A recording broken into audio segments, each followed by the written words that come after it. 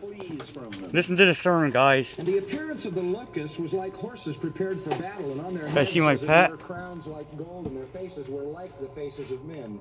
And they had hair like the hair of women, and their teeth were like Where'd the you get teeth of 'em? lions. Landed on my finger over They there. had breastplates like breastplates of iron, and the sound of their wings was like the sound of chariots of many horses rushing to battle.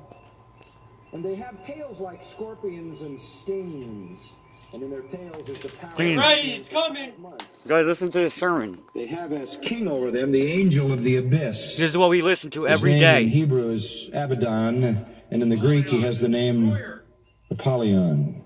See how clean this bee is, guys? Here is the frightening fifth Can trumpet. man, can man even begin to understand how and why it exists at all? Why is there a bee? Why, why does it exist? Why does anything exist? Because God created everything for His pleasure, not for ours. We're the creation, right, Justin?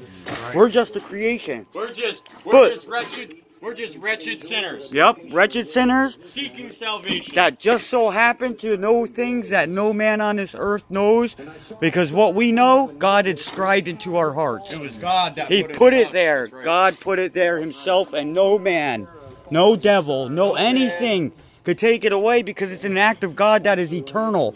Eternal. When you have and you receive the Holy Ghost, and you truly have it, you cannot change it. You cannot. And to willfully try means they say they they were of us, but they went out from us to make manifest that they never were of us to begin with.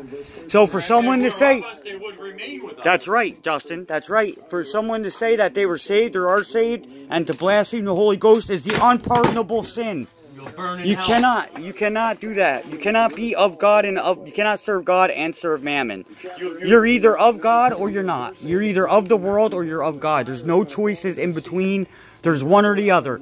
And many are on that wide road of damnation, not salvation, because the road to salvation, right, Justin? What is it? What gate is it? It's the gate of Christ. And how how big is it? Very narrow. Very Single- narrow. Single file. You heard that? Single file, One. You have to give a testament of the life you lived on earth in front of God Himself. in front and in front of a witness. On the If, throne of, of if, the white judgment. hey, this bee's sleeping, bro. This is a star like we think of a star. I'm not kidding you. Look, it's, it's freaking sleeping. It senses the spirit. He says even an insect senses the spirit. Anyway, with that said, I hope everyone has a blessed day. And God bless you all. Bye bye.